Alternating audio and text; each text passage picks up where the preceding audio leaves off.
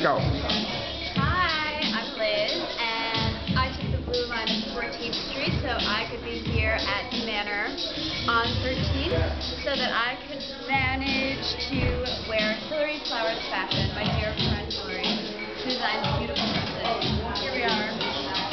Hi, I'm Brittany Lee, and I'm here to show off Hillary Flowers' design.